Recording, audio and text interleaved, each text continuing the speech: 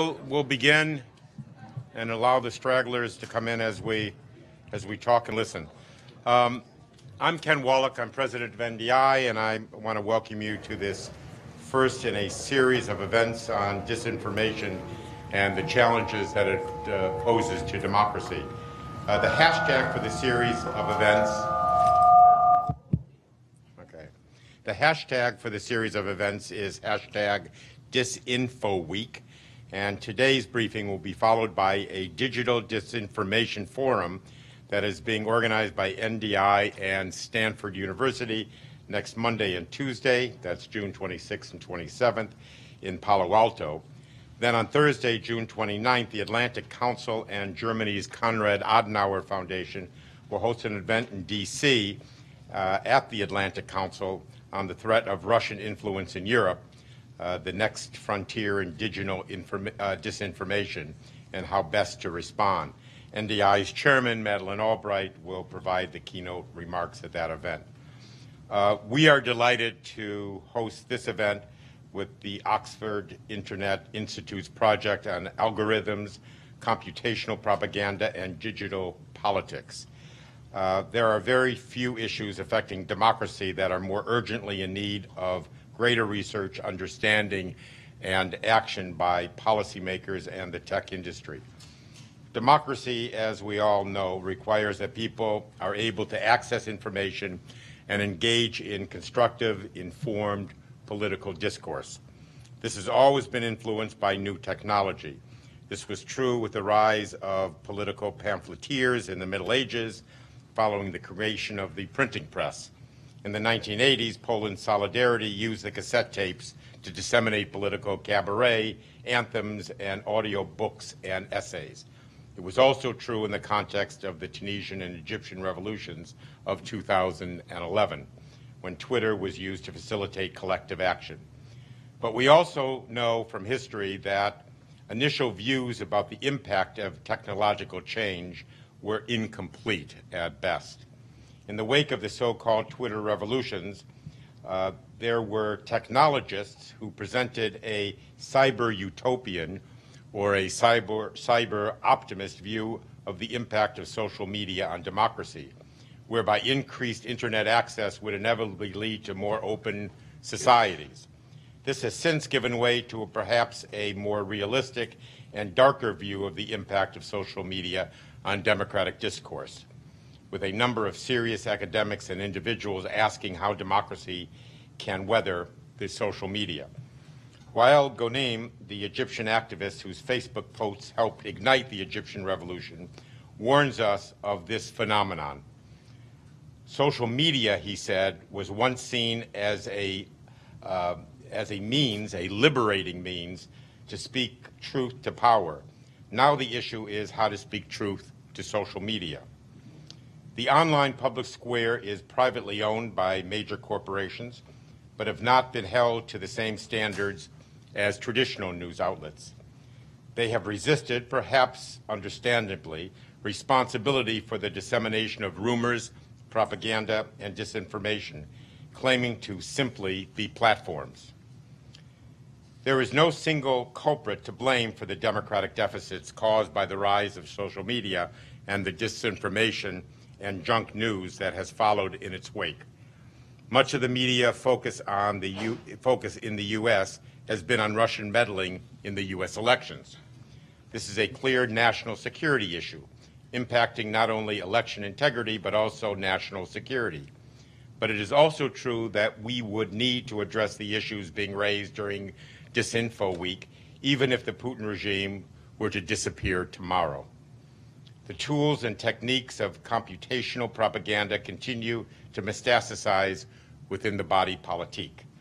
They are being used not only by authoritarian regimes around the globe to project power and advance national security interests, but are also widely used by domestic political actors and other non-state actors. To date, it is clear that the response by governments and the tech industry has been insufficient to address the challenge. To turn things around, we need at least two things. First, data and analysis to better understand the nuances of the challenge, which continues to evolve at an exponential rate. And two, greater urgency among those in government, philanthropy, the democracy community, and the tech community to collaborate to address these challenges at scale. On the first point, we look forward to hearing the remarkable research from Oxford this morning on how computational propaganda is shaping politics in nine countries covered by the case studies. I returned over the weekend from Georgia and Ukraine, where Oxford's study shows the most globally advanced case of computational propaganda. This serious challenge is now uh, quite evident uh, during, during our visit. We need to support this research to better understand how politics are currently being conducted online and how democratic deficits are being created or exacerbated by social media and bots. On the second point, NDI recognizes the threat posed by computational propaganda to genuine organic discourse and looks forward to continued partnership with Oxford Internet Institute and others in the room. To close, let me just offer a brief word on NDI's response to the challenge. Recognizing the importance of technologists to the future of democracy, NDI opened a permanent presence in Silicon Valley in 2013, led by our in-house governance team in partnership with the Institute's tech innovation team and others within the Institute. We have continued to expand our programming on civic technology, digital politics, digital security for democracy activists, and uh, preserving information integrity in political uh, debate online. We look forward to sharing more about our response at next week's event in Palo Alto. But components of our response include strengthening international and citizen election observation methodologies to include reviews of the impact of disinformation and computational propaganda in elections. Secondly, conducting new types of opinion research to better understand which populations are most vulnerable to disinformation in particular uh, political contexts. Deliberative polling shows how attitudes would change if exposed to more information. Implicit association tests help understand attitudes um, that might not be revealed in response to direct questions. Three, we are supporting global civil society partners to better identify, disrupt, and counter disinformation and build digital media literacy. Four, advocating for major social media companies to design for democracy, using a phrase from the Oxford Summary, and take steps to reduce the extent to which their platforms are used to disseminate disinformation. Next, support continued dialogue and advocacy regarding tech policies that impact the future of democracy and politi politics online, and engaging with political parties on the appropriate use of online media as part of our 21st Century Parties initiative. And finally, developing new IT tools for the use of civic and political groups. We look forward to engaging with our partners on hashtag DisinfoWeek events including the Atlantic Council, Konrad Adenauer Foundation, Stanford University, Jigsaw, the First Draft Coalition, the Hewlett Foundation, and the Oxford Internet Institute. With that, let me hand it over to Laura Jewett, NDI's Regional Director for Eurasia, to introduce today's panel. Thank you.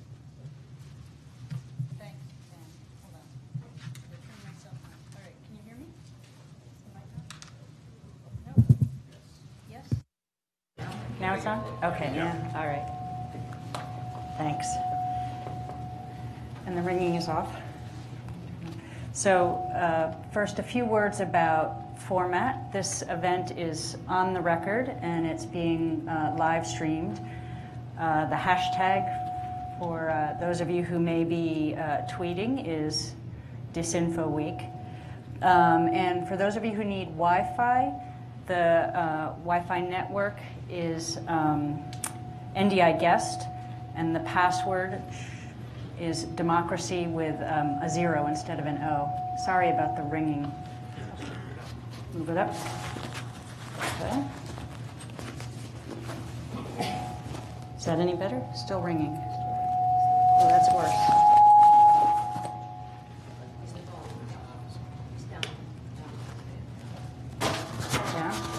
Move this.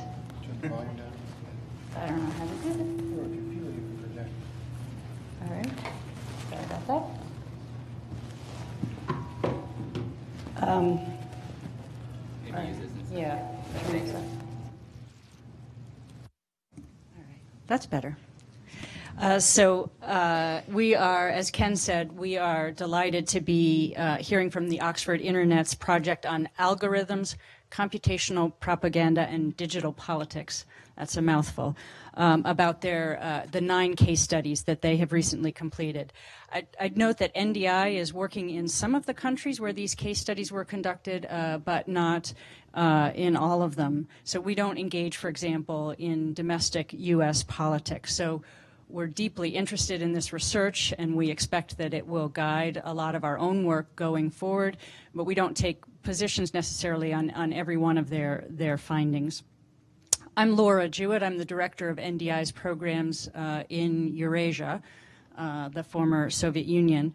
Um, Russia's tactics of hybrid warfare, including computational propaganda and disinformation, um, picked up momentum with the 2014 occupation of Crimea um, and have spread more recently to Western Europe uh, and the US.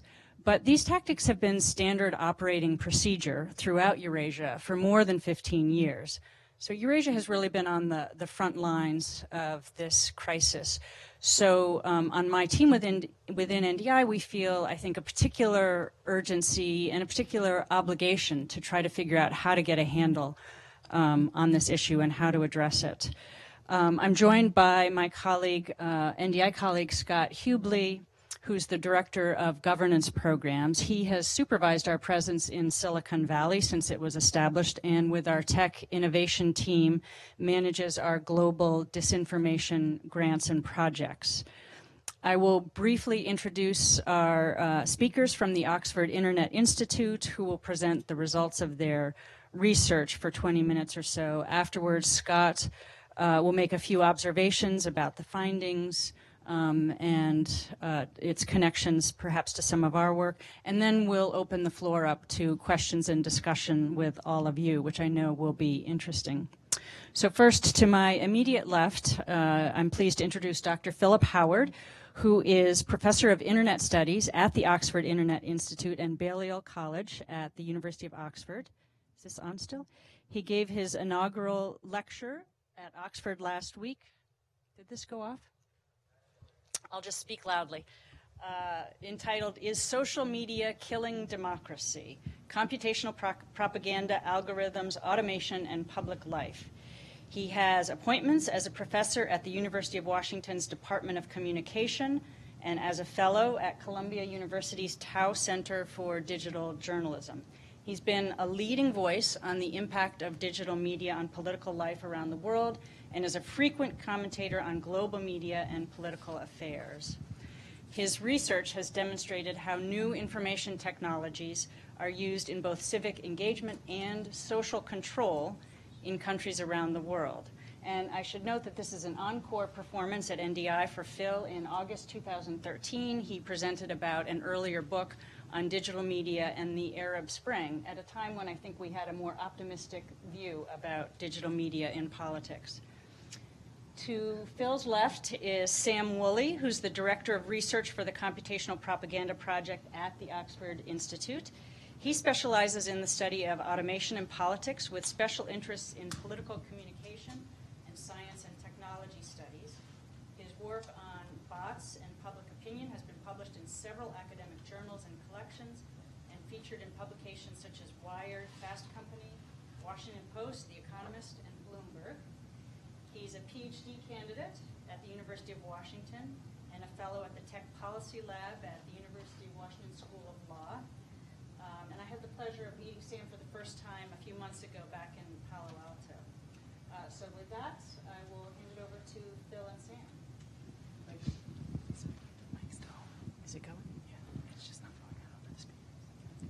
I'll stick with this one. Thank you. Thank you, everyone, uh, for coming. Good morning.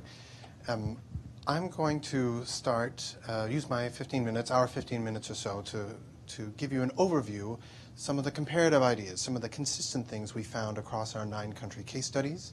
I'm going to share the floor with my colleague Sam in a few minutes to talk about some specific country case studies. Um, but first, let me tell you a little bit about the project.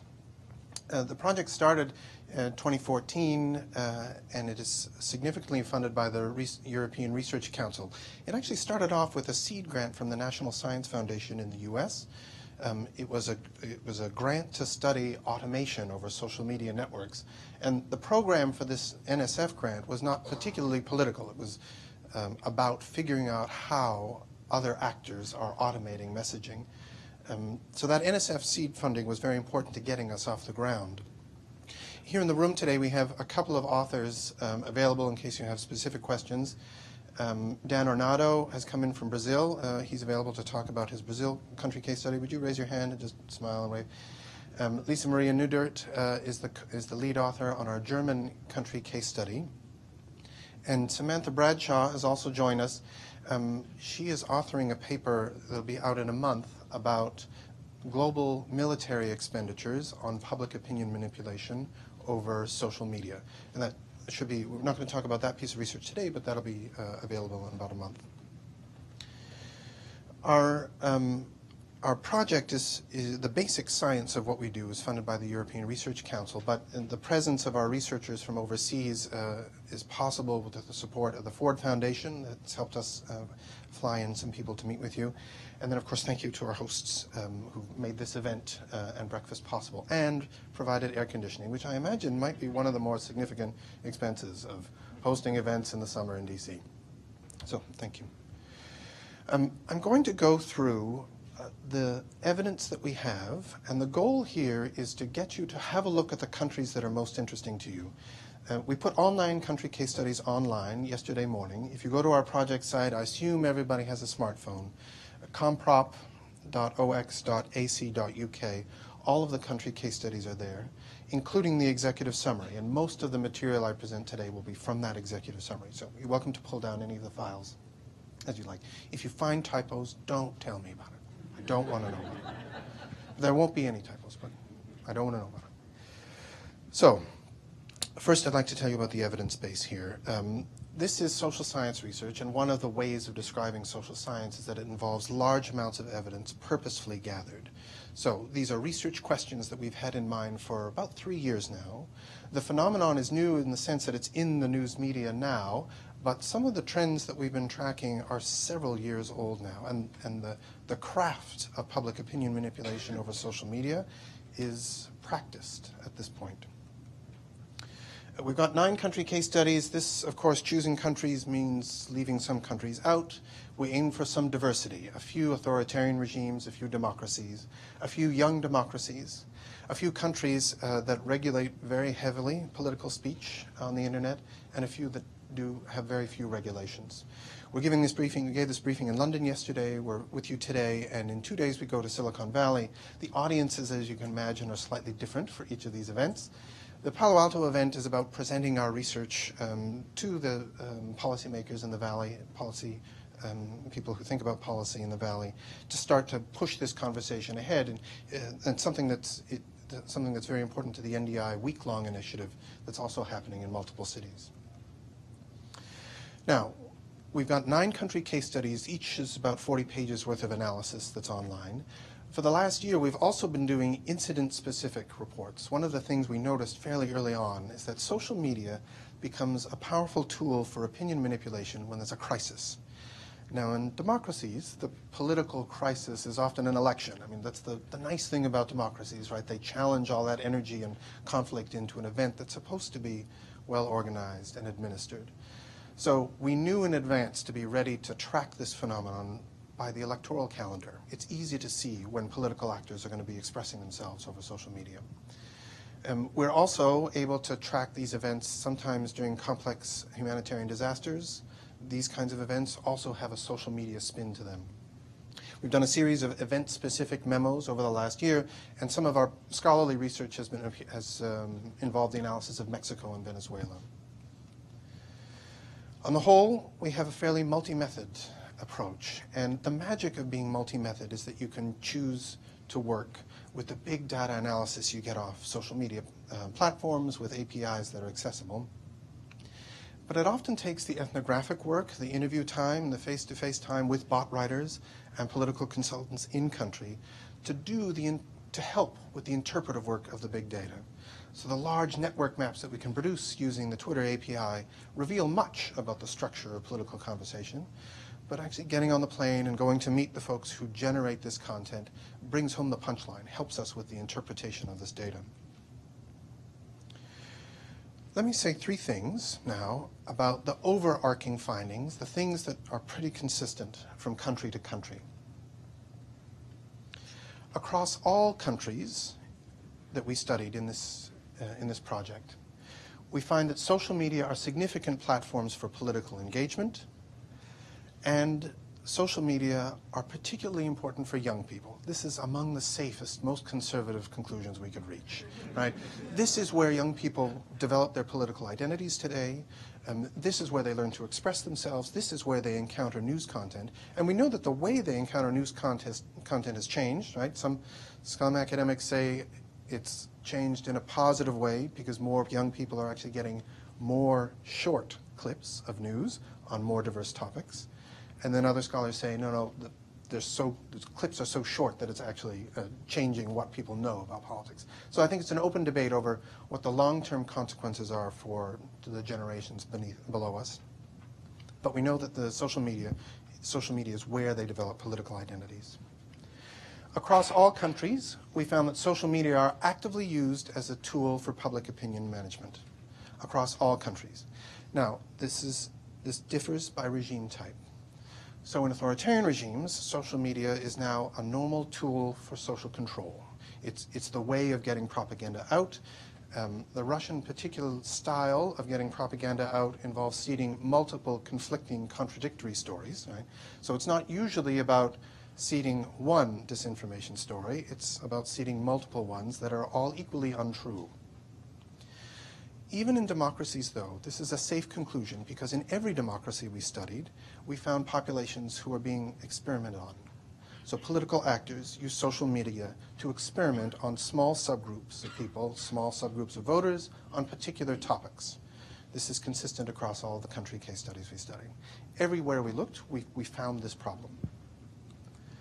The third overarching conclusion that I think is safe based on our case studies is that in every country there is a fairly lively civil society community that's trying, and I think it's safe to say struggling, to respond. And the responses are varied. Um, sometimes they're quite aggressive. Uh, the Ukraine involves some very creative responses. The Ukrainian youth are quite used to these kinds of propaganda attacks, and they're, they're responding very aggressively, quite creatively, generating their own bots to respond to the Russian campaigns.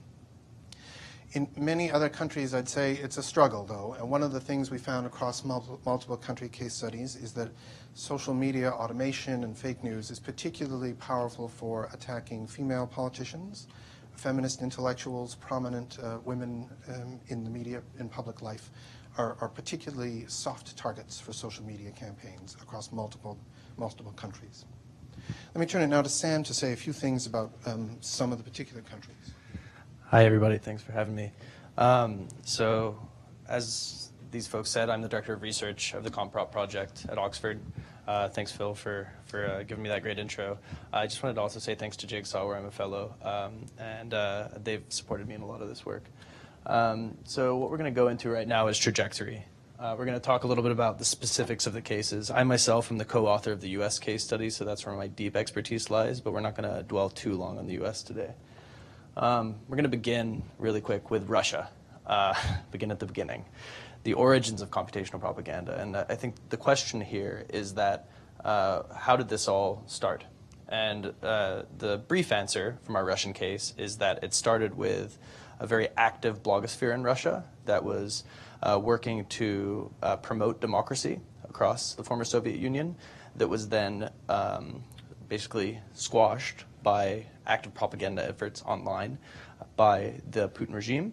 And so we saw the use of computational propaganda, but also what we call political bots, basically uh, automated profiles that look like people, but that are built to uh, bolster a particular idea online, uh, all throughout Russia. and then that translated to transnational campaigns for attacking uh, anti Russian sentiment all over the world, including in the comment sections of uh, prominent newspapers, but also uh, across social media platforms themselves. The next uh, is the experiments that, that Phil mentioned briefly. So there's been several attempts by multiple governments to do experiments upon populations within their own country, but also to do disinformation campaigns across other countries. And so one of the things that we did in this study, to be clear, is that we sent our case study authors to the countries that they studied. Most of them are from the countries that they studied. And they did interviews with people who worked for political campaigns, who worked for uh, social media management firms who do the building of the bots and who do the launching of computational propaganda campaigns on behalf of political actors. We also talked to citizens, and we found that regular citizens also build a lot of bots and also launch a lot of computational propaganda attacks. So the experimental uh, kind of outcome of this is that in the United States, computational propaganda has been used for 10 years. It's not new. It's been used since social media has basically, the Web 2.0 has been around. Um, uh, it's become much more sophisticated over the last few years, with automation playing a significant role in doing what I call uh, manufacturing consensus. So what it does is it creates the illusion of popularity. It, it, it bolsters a particular political candidate or political actor, and it gives the illusion of popularity across multiple social media platforms so that that person then has uh, basically a mandate to speak in a more legitimate fashion. Uh, the other thing that we've seen uh, in both of these countries is sort of the advancement of what I, again, what I call the democratization of propaganda. So multiple people can launch propaganda through a site like Twitter because of the open API. And it's something that I don't think that Twitter thought a lot about when they first began as a platform, but then now they're having to think a lot about because basically anyone with a bit of computer coding knowledge can build a army of bots that can then uh, work to manipulate public opinion. And lots of the people that I talk to are just people that are sitting in their house that run 500 bot accounts that have a very, very particular interest in getting across their particular opinion to lots of people. Um, the Ukraine is a case that I think it's safe to say uh, should serve as a warning to those of us in the room that are concerned with international democracy. The Ukraine is probably what computational propaganda will look like in five years if we don't do something. It's the most advanced case. It's been a testing ground for Russian propaganda for the last 10 years, and with Crimea, we're seeing uh, ramped up efforts in, on this. Um, read the Ukrainian case study if you want to get a look into how bad things can get. And when Phil says that the, the, Russian method for spreading propaganda is to spread multiple conflicting stories, the Ukraine is the case in point of that. The goal is to confuse. It's not to necessarily sell a fake story, it's to make people so apathetic about politics and policy in general that then they don't really want to engage anymore. Consequences. So uh, Brazil, Germany, and the United States show us what the consequences of computational propaganda are in multiple sort of arenas. Okay, uh, in Brazil, uh, and our Brazilian case study authors here, and I'm sure he's happy to answer questions after we all get done talking. In Brazil, we've seen computational propaganda and bots play a role in three major political events in the last couple years. Um, the impeachment process, uh, the current constitutional crisis, and the municipal elections in Rio all were uh, attempted to be manipulated online uh, over social media. Um, in Germany, we see a bit of a cautionary tale about how perhaps a government should not respond to the perceived threat of computational propaganda. Uh, our case in Germany showed that while it, computational propaganda does exist in Germany, the governmental response was sort of overblown in response to it, like kind of kind of a boogeyman in the room, and kind of uh, our German case study author shared yesterday that Angela Merkel herself said she's afraid of bots, and so the response in Germany has been to. Uh, uh, talk about imposing massive fines upon the companies, and, and we don't really think that this is a this one size fits all response is a very good response, to be honest with you. Um, lastly, in the United States, we see the consequences bearing out in politics and the spread of what we call, what Facebook has called false news, what we call disinformation or misinformation, and uh, potential effects upon the way that people perceive politics and think about events. The Pizzagate scandal is, is sort of one small example of a situation where many people legitimately believe that this was a problem. Uh, this scandal, this conspiracy was uh, propagated by bots uh, and by computational propaganda across multiple platforms, and uh, had actually very real offline consequences. Um, so with that, I think I'll leave it to Phil to do a few closing remarks, and I'm happy to answer specific questions about the U.S. case study. And thank you. So I, I fully agree with my colleague Sam that one of the real dangers here is probably over-regulation. Right, so there's, there's certainly something that, to be done that I think we should expect of the social media firms in, in design and implementation and creativity, imagining ways to, to build for in democratic institutions into the platform that we're all using for politics. That, that's a key step we have to take. But over-regulation is also one of the, one of the very real threats um, it is very likely that Europe will make decisions in the next six months that shape what political conversation looks like in, in Europe, and we want to make sure there's some balance here. Um, I also think that we're past the point where industry self-regulation is sufficient. Right? So somewhere between industry self-regulation and public policy oversight uh, has to be the magic point. I want to point you to three of my um, three nuggets, three things that are new, because some of what we're saying is sort of well known, has been covered in the media. In our Poland case study, we're actually able to talk ethnographically about one of these political consulting services that has maintained tens of thousands of accounts over 10 years, so as long as Facebook has been around, that involve complete Gmail addresses, Twitter handles, Facebook profiles, and these things are um, for rent uh, for political consultants. They're hired by lobbyists in the West, um, political actors uh, who to uh, tweet and post in particular directions. That's new. We're able to demonstrate how Russian political conversation over Twitter is, is bounded. We estimated about 40%, 45% of the political conversation over Russian Twitter is through these highly automated accounts. That's a great example of capture of a platform.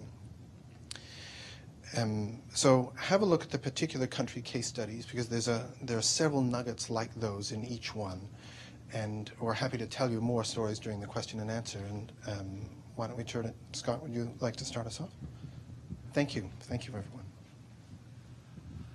Thanks. I'll be very brief because I would like to get to the, the discussion, but just maybe a few more words and reflections and looking at the case studies uh, from NDI's uh, perspective. I mean, uh, however bad the situation appears right now, um, uh, it looks like things will continue uh, uh, to uh, get worse in terms of the technologies moving very quickly, the use of kind of, uh, you know, fake audio, fake video, social multimedia is coming online, uh, the pervasiveness of, of use of AI, not just in disseminating, but also content generation, looks eager to grow or looks like it will continue to grow. I think uh, from NDI's perspective, I mean, we're looking at uh, a number of ways that we have currently been addressing this issue and will continue to going forward. Um, and I think the research gives uh, gives us some additional direction. Uh, but I think there's there's basically uh, five kind of main areas where we hope to, through uh, additional partnerships, the events in the next week uh, and continuation of our country programs where we want to kind of move this uh, forward. First, um, elections you mentioned is a crisis point. Um, you know, uh, NDI has done work uh, in monitoring elections throughout its its history. Um, the methodologies need to uh, be updated, and we're in the process of that and finding new partners to ensure that election monitoring globally, pre-election assessments, looks at the information space, uh, looks at um, issues of cognitive security, and and really addresses this component of elections. It's not not about ballot stuffing, not about the pre-election environment. It's also about opinion manipulation. Um, I agree. We're past the point of self-regulation, um, but there's a, a, need to build a community of advocates with the information and tools to push this in the right direction. Um, uh, there are amazing groups doing amazing things all over the world, but it's not uh, shared uh, enough. And so that's part of uh, our mission. Um, third, just a bit about uh, parties. Um, as was mentioned, this is not just uh, many of the techniques that are being used by authoritarian uh, states have been adapted, are being used by a wide range of actors in ways that maybe are appropriate, maybe are not. The rules aren't clear. Uh, we need greater conversation within political parties on what's in bounds, what's uh, what's not. Um, I think there is also a role for uh, tools in this space. There was a great um, discussion in the um, in the Taiwan case study about an anti-fake news bot um, uh, uh, supported by one of our partners in Taiwan, GovZero. Uh, basically, uh, you know, the bot is called Really or For Real or You Got to Be Kidding. You friend uh, the bot. Um, if something comes into your social news feed or in, into your um, uh, social media uni- universe uh, and you want to kind of fact check it, you um, forward it to the bot and get a response. There's a whole host of tools that way that are being uh, tools that are being developed to deal with these issues. Better tools to distinguish between organic and inorganic conversations online, uh, and we need to continue to scale those, uh, share uh, share learning on what works uh, and what doesn't. Um, and then lastly, uh, Laura mentioned uh, opinion research. Uh, the research agenda here is so important. Uh, the work that Oxford's doing is just amazing.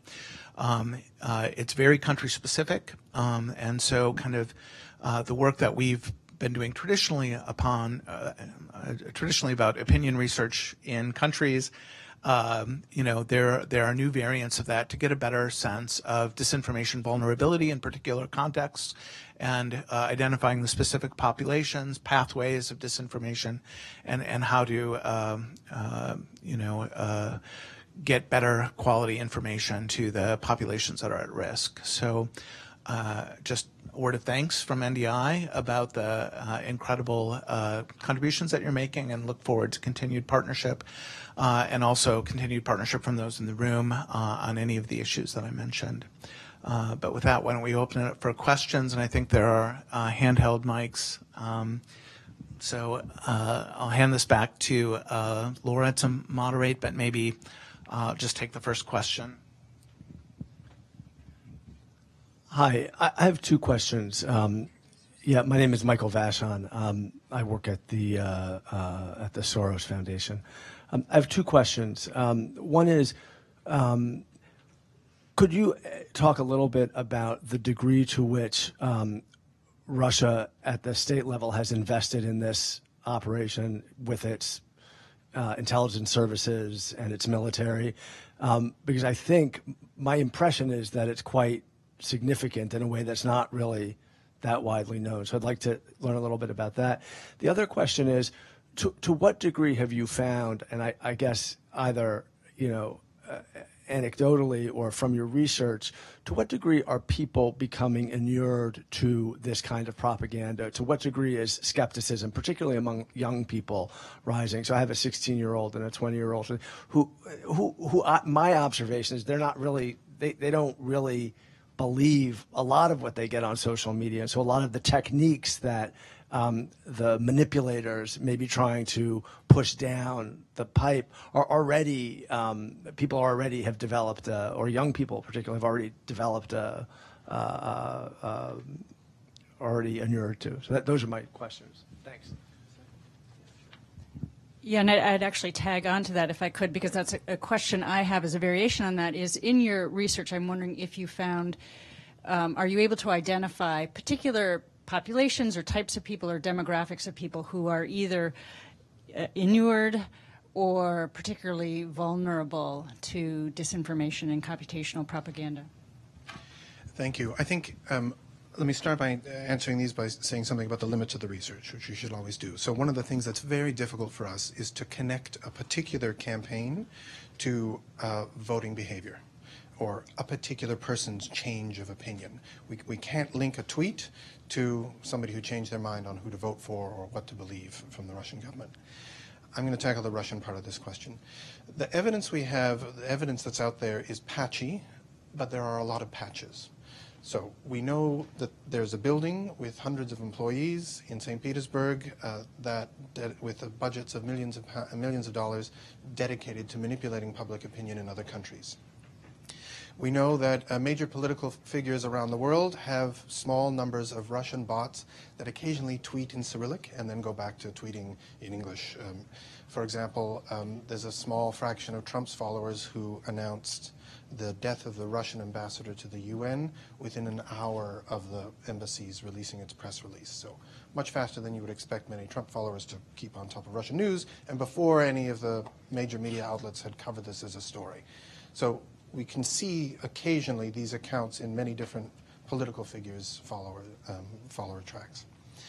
We know they have a significant staff. We also know that, the, um, that in Russia there is a larger community of young people who go to summer camps and learn to tweet and post for the country. And so there's, there's paid staff and there are military units who've been, that have been retasked to doing this work. And then there's a larger community of fairly aggressive hackers and activists who do this work.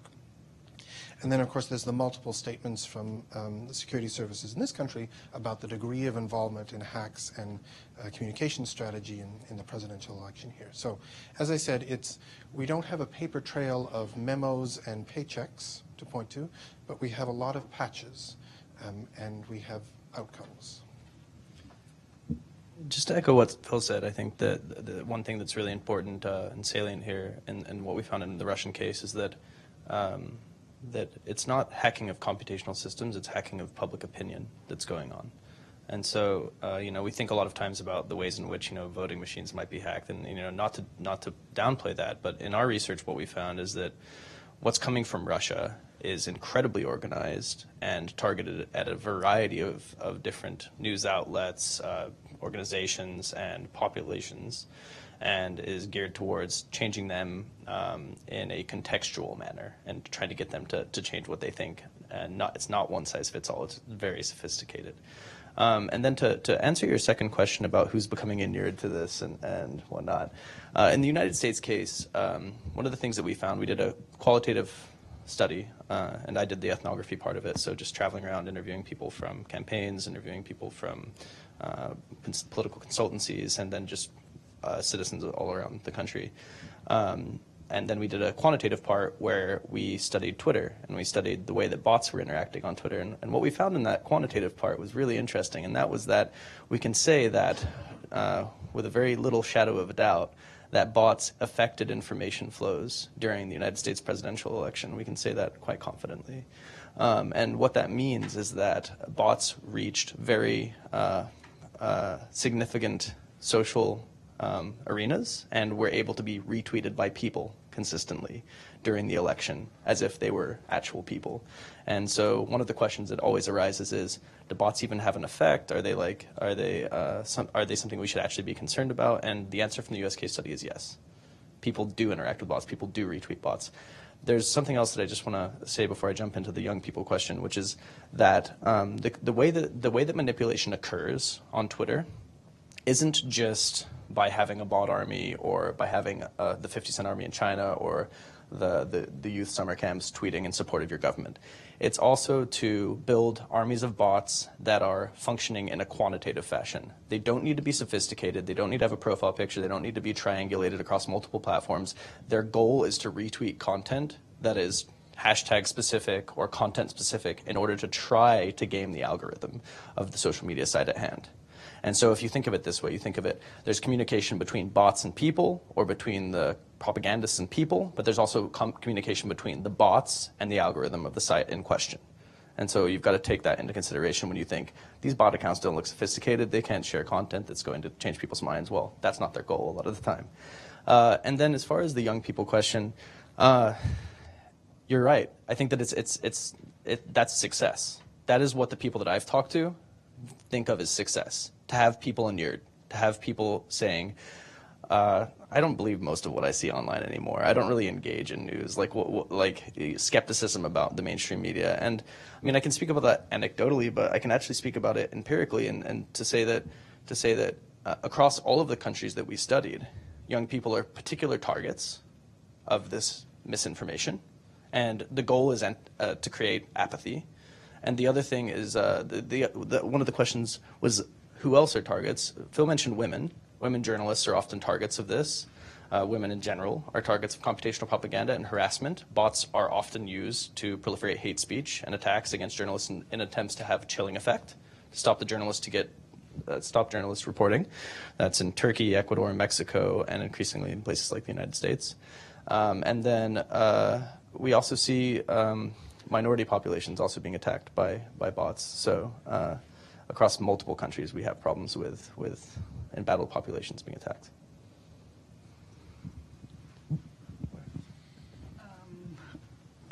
over here on the left, I just wanted to say, I just wanted to add on, Sam, that it seems like um, it's it's a good thing if young people are savvy and skeptical, but there's a fine line. Not a good thing if they become skeptical of all media and all news. So, a fine line to follow. I was going to point over here on the to my far left. There's a mic coming over there.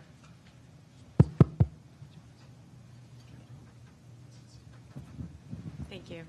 Hi, I'm Lori McGlinchey with the Ford Foundation. Can you talk a little bit about um, what your observations are of the different platforms, the differences among the platforms, so the difference, say, between Facebook or Twitter, um, both in their own acceptance, sophistication, willingness to grapple with this topic, and also you mentioned the kind of continuum between the danger of overregulation and the failure of self-regulation. Do you have a sense of what the the levers of um, of uh, power are in terms of regulation? What it would what what might it even look like? Okay, well, I'll, let me tackle the first one, uh, the second part first. And these are policy options that other people are talking about, so in no particular order, they're not things that I'm uh, advocating for. But the list includes fines, uh, right? The Germans are proposing 20,000 euros per post per user of fake news that's served to a user. Um, that would very quickly add up, and um, uh, they would have to redesign for that. The other options people are discussing are algorithmic audits. So we audit video gambling machines and we audit um, financial transaction software. Um, there would be ways of auditing um, Facebook's algorithms in particular that don't violate IP, but um, do force some questions to be answered. And of course, if Facebook can't answer questions about how its own algorithms work, that's a problem too. So algorithmic audits. Industry self-regulation and creativity um, would be another, uh, coming up with programs to, to vet content. Um, you know, that's sort of where we are now. There's some very creative initiatives in particular countries. I think one of the challenges with that model is that, um, well, I think editorially I'd say that expecting civil society groups to do fact-checking on Facebook is inane um, and not a policy response. Uh, so journalists, you know, do need to generate good content, and we would like to see users uh, share professional news. But when we when we went back to um, look at our Michigan data about who was what kinds of content people were sharing over Twitter um, in the week before the election, we found that there was about a one-to-one -one ratio of professional news con content to junk that people were sharing, and the the overall proportion of professionally produced news content being shared was at the all-time low the night before the election. So there's a rhythm to this stuff, and um, some creativity on the platform could help, on platforms could help address these problems. So that's uh, algorithms, uh, sorry, auditing the algorithms, fines, and uh, self-regulation are among the possibilities. Um, the differences between the platforms. So most of what we talk about as researchers is, is Twitter because Twitter's API makes it possible to study this stuff. And this is, you know, a general methodology critique. We all think or hope that the observations we can make about Twitter networks will be revealing for Facebook. There are ways of studying Facebook uh, public pages, and we're starting to figure out how to do that.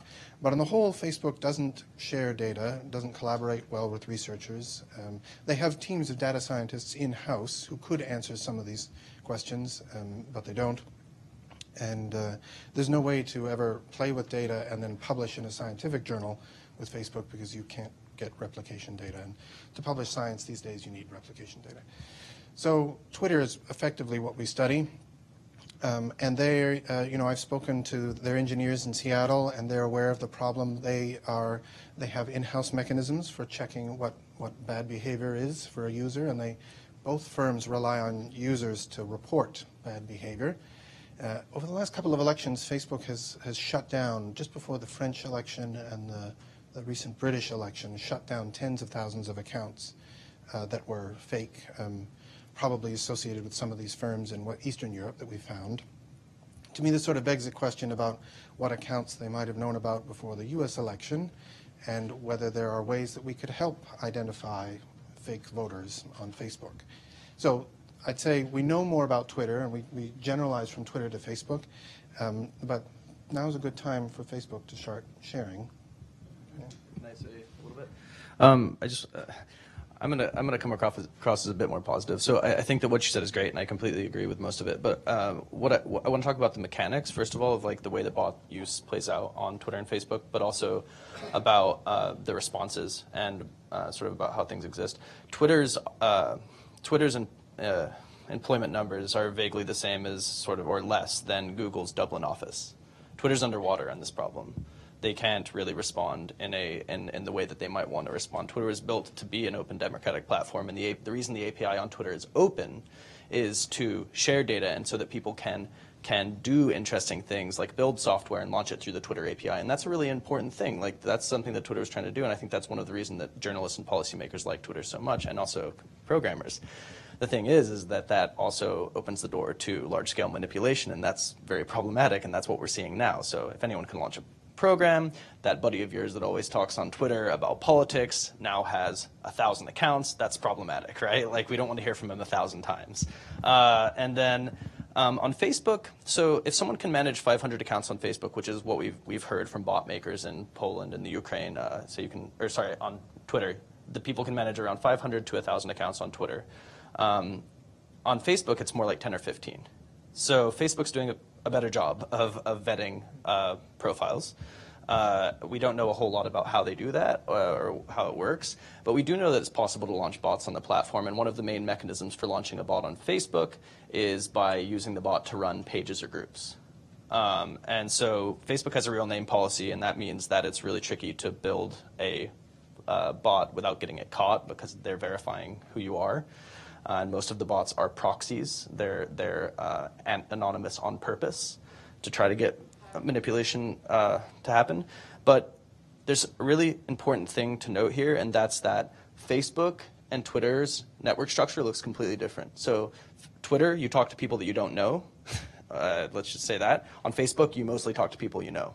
And so bots are more successful at manipulating public opinion when they are running groups or pages than if they were actually running people people's profiles. Because on Facebook, if a strange person adds you, you're like, who is this? Even when my colleagues add me, sometimes they're like, who is this?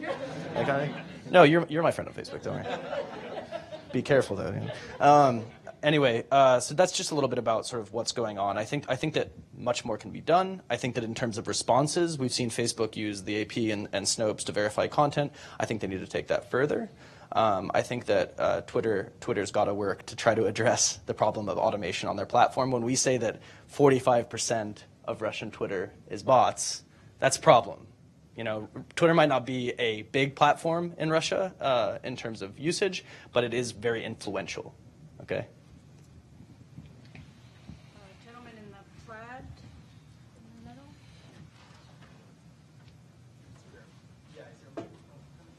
Yeah, coming back there. Hi, uh, David Sullivan with the Global Network Initiative. Uh, question for Phil. Uh, several years ago, you had a rather provocative piece that was arguing that we should employ pro democracy bots to respond to sort of the early incarnation of this kind of phenomena. I was wondering, do you stand by that, or and, and how do you sort of think about those kinds of things in light of this research today? Uh, thank you. That is a hardball question. So, I there's a couple of pieces I've opinion pieces that I've written that were supposed to be intellectual exercises. One was let's nationalize Facebook, uh, and the other one was uh, let's build pro-democracy bots. And so the reason I wrote that piece at the time was that it was clear that the Russians were writing these pro-democracy bots to attack my friends in Hungary. I was working at this, uh, sorry, uh, um, anti-democracy um, bots. I was working at CEU in Hungary for several years, and so it, it was clear that the, that they were doing it. And you know, it's it's we can think of tit for tat responses or ways to be creative. Um, and you know, there are. Uh, I should also say that some of this automation is is positive, right? So there are bots that check when a politician tries to edit their page on Wikipedia, right? And they report those edits. Um, there are journalists who do creative uh, computational journalism, uh, ripping data out of public, uh, public data sets uh, to, to, to break new stories. And so it's not that the, it's not that the algorithms are bad. It's that these are, you know, we might default to the rule of law. These are political actors exercising speech rights um, uh, who often describe themselves as patriotic programmers, right? They're, they're writing for, they're writing to express themselves is why they do it. That's probably more true for face, uh, for Twitter, um, where it's possible for individual users to do this stuff. On Facebook, Facebook manages the algorithm, so they, they manage the bots that set what what chunks of news come from your feeds to act, to to the top of your uh, from your networks to the top of your feed. I'd say that um, my I, I haven't fully changed my mind. I I'm not sure that I would write that piece again, but I'd also say that there are civil society groups who are thinking that way because they need a response strategy, and if they can write to a donor to say, "Give me money to hire a hacker to write some bots to address this thing that's because we're under attack," then it's also a self-defense issue. And you know, in my fantasy world, none of this would be happening because it, it definitely pollutes public conversation. So the question has become: Do we want civic groups to pollute the conversations further? And I don't know. and there's other kinds of positive social bots that exist. You know, uh, uh, we, Phil and I, and um, alongside several other colleagues, including uh, Tim Hwang, who's a research affiliate with us, um, have written about bots as social scaffolding or as a social prosthesis. So the ways in which bots can act to connect networks of people who might previously not have been talking about a topic. And while we can't really run experiments on the ways that bots might affect a particular population for ethics reasons, uh, we know that bots have been used in the past to successfully connect um, to connect groups that want to talk about democracy, say for instance. Uh, the problem is that they're also used to connect groups that don't and that want to talk about hate or want to talk about control. Um, and I think that most of the time when we've seen, uh, when, we, when we can verify uh, with a large degree of certainty that it's been a, a government or a governmental actor that has launched a bot attack, the attacks have been pretty unsuccessful and a PR disaster for the, the governments at hand. And so, you know, the concept is like, you know, kind of a bad one. It's it's more about tactics than it is about strategy, and it's it's uh, it gets pretty messy pretty quick.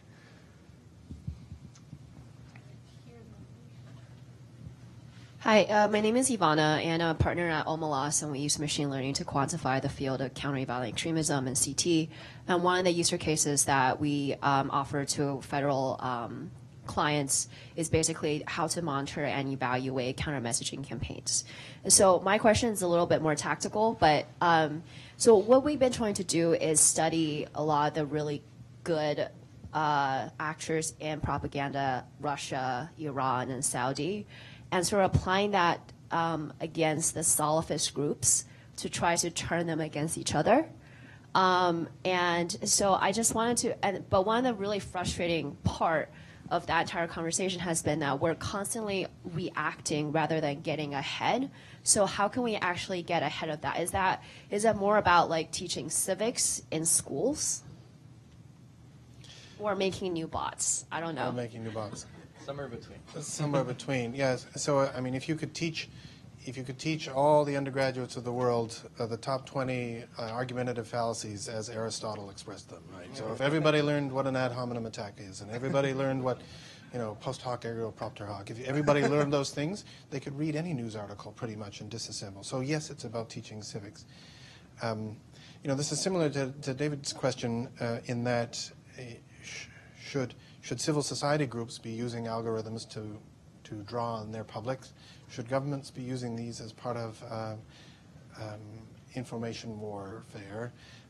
I'd say, you know, on the one hand, it's too late because other political actors are doing that too. Um, you know, I, I'm not a security analyst, so I would just borrow the existing language and say proportional responses are relevant. Um, using social media to turn Salafists against each other sounds like a risky move, um, but but I'm but maybe but maybe it isn't. Right. So if a, if a U.S. government policymaker decides that it's worth turning Salafists against each other over over social media, then that's. I mean, I don't have any influence over that decision. But it seems that seems like a risky move. Of course, and this has to be weighed against the risk of not doing it, things. You know, one of the things one of the things that did surprise me from this research was the absence of China in these conversations. We, we, we expected to see Russian activities. We found, um, you know, Russian involvement in um, co- computational propaganda in Taiwan. We know they're active on all the issues that China's interested in, Tibet, South China Sea. Um, but they tend not to be active as much on English language social media. They've built their own separate information infrastructure from the ground up that is all about social control, and it tends not to involve automation as much as we expected. So, um, you know, of the things that keep me up at night, I think the uh, one would be that China decides to start doing this. Um, one would be, as Scott mentioned, the possible application of artificial intelligence to crafting messages. So not simply selecting accounts or you know sophisticated chatbots, but actually deeply crafted messages would be the next um, next step. And then in most of the countries we've studied, we found large networks of what we call sleeper bots. These are accounts that are clearly automated. They've only tweeted a few times about unrelated things, and they've gone to sleep. Uh, Twitter won't identify them because Twitter does not want to shut down legitimate users. So, so they're not. They don't pass the bot threshold for Twitter. Um, they're just waiting to be used for something, and um, you know they might all get woken up at some key moment to be active on some issue. So those those are the three things that concern me. Um, I'm still uncertain about the using Twitter to split Salafists. Yeah. So we have, uh, unfortunately, we only have 10 minutes left. I see there are lots of questions. What I'm going to do is clump um, about four questions and ask each of you to keep your questions very, very brief and. And we'll uh, we'll mill around forward. for half an hour. Until, Yeah, we'll have, there'll be a little bit of time afterwards. So gentlemen in the blue, Lavisa, Sandra, and gentlemen here in the. Sure. They must have something that I have no idea. Um, hi, my name is John Pope. I work at the Peace Tech Lab, and I guess I just wanted to check about. Um, we talked about Facebook and Twitter and blogs a bit, but if you had seen anything in search and computational propaganda. Take a couple. We're going to take a couple here.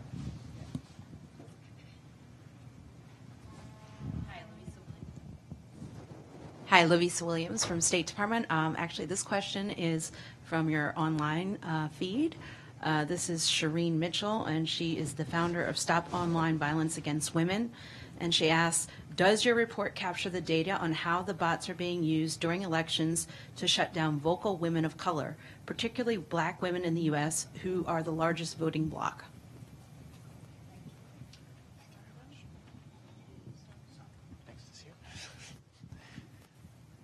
Sandra Pepera, uh, Director for Gender, Women and Democracy here, and my question has just been asked, really. Um, I think the key issue is, uh, is there a sort of a compendium chapter that you can actually glean on and uh, put together on the gender and women's piece because I think it is absolutely critical.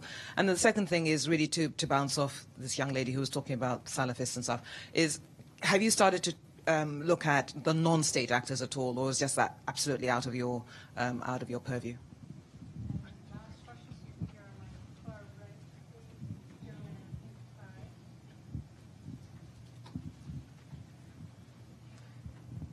Thank you. Good morning. My name is Daniel Clark. I'm from Cater Parks, Weiser, and Harris. Um, I'd be interested to know, because it may soon become relevant here in the United States, how computational propaganda influenced opinion in Brazil, um, in particular, um, given the impeachment proceedings that happened there, um, how computational propaganda drove opinion and whether it was more of a disinformation campaign, and how that might indicate what might happen here in the United States.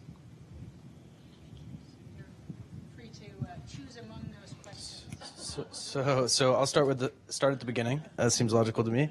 Um, so, what what role has this played in search? Uh, it plays a role. Um, our research isn't on search, so I don't want to speak uh, super super in depth about this. But what I can say is that we do know that you know bots make up 50, 60% of all traffic on the internet. They're used for all sorts of purposes. They're an infrastructural part of the internet.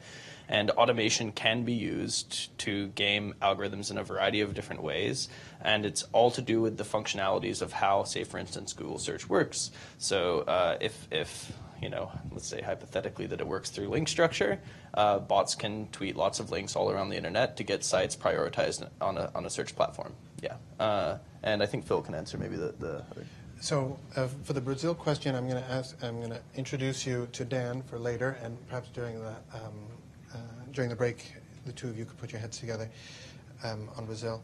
The so our strategy for tackling uh, the problem, uh, tackling how this story plays out for race and gender, has been to build that into each of the case studies rather than do a standalone one. But unfortunately, we've certainly found enough ma- material to do a standalone study. Um, in this country, there have been several prominent African American public intellectuals who've been driven off Twitter, um, basically, uh, from and artists who've been driven off Twitter, and comedians, and the list is too long, right? Um, because of uh, the harassment and trolls. And one of the things that makes this work tough is that the, the networks of people who do this um, come from different parts of our political culture. So the bots that tweet um, that har- harass public intellectuals or tweet for a particular political actor may come from uh, programmers in Silicon Valley who do one thing at night, uh, one thing by day, and they go home at night and do some other uh, after-hours work. They come from libertarians in Montana, and they come from uh, Russia. And what's challenging is that these these networks overlap. They generate content that each other's network picks up and runs with. And you know, I'm not afraid to say that an important network here is the pro-Trump network, which which pulls content from Russia and from um, Trump supporters and from these other standalone networks that have been around for a while, and they all move in the same direction. So what's trouble, what's tough for us for sourcing, is that um, these communities overlap and take each other's stuff and advance uh, an agenda that's ugly. Can I say a bit more, just really quick? Uh, one of the one of the key things about the the uh, question of how women are harassed using using bots, but also like computational propaganda more broadly, and that and I'm talking women journalists, um, policymakers, uh, the whole gamut, is, uh, is, is I would say, at least in the context of the United States, but also more broadly, to look to, look to 8chan. Uh, if you want to find out a bit more about this, 8chan is sort of uh, related to 4chan, but is, is where you see a lot of this content originating, and uh, is, is uh, it's a scary place, but it needs to be studied more, and we haven't studied it. 8chan, like channel, 8chan. So just one little, uh, I guess, comment from NDI's perspective about the response and a, a little bit the question of kind of uh, how the CVE community kind of bleeds into this discussion. I mean, I think one phenomena that we're seeing, and I don't have uh, as robust of an evidence base for this, but there is a lot of bleed over from the kind of security sectors into private political consulting that is uh, uh, means that some of the tools that are happening, kind of say in the CVE space, are being applied in all sorts of ways that um, maybe were not originally intended. So I'm also in the category of believing that we have to be very uh, careful about kind of where this uh, goes, and and it is a bit of an arms race. I think the response needs to be kind of uh, multifaceted. Uh, there isn't one bullet that will solve this. Uh, and on that point, I would just say there was a comment earlier about how the goal uh, of some of the Russian mis- disinformation is to create apathy and discredit all news. Another aspect of it is really discrediting democratic institutions. Uh, and if you look globally, again, without establishing correlation, you know, kind of trust in democratic institutions has just nosedived uh, globally. Um, and so part of the response also from NDI's perspective needs to be the old fashioned bread and butter work of helping democratic institutions perform well, having them integrate civic technology approaches that kind of perform services better, quicker to people. Um, so it's it's a it has to be a multi-level response, defensive, offensive, tactical, strategic, and um, we have our work cut out for us. I apologize that we couldn't take um, all of your questions. We could have kept this discussion going on for quite some time, and it would be fascinating. Um, we will need to um, vacate the room, but I think there's a little bit of time where we can chat informally uh, for a few minutes uh, with Phil and Howard afterwards, if you'd like to stay. And so, with that, I would like to thank Scott and his team for convening us, and thank Phil and Howard. Um, for the research that you've done and for sharing it with us. Uh, it's been a fascinating discussion. Thank you very much.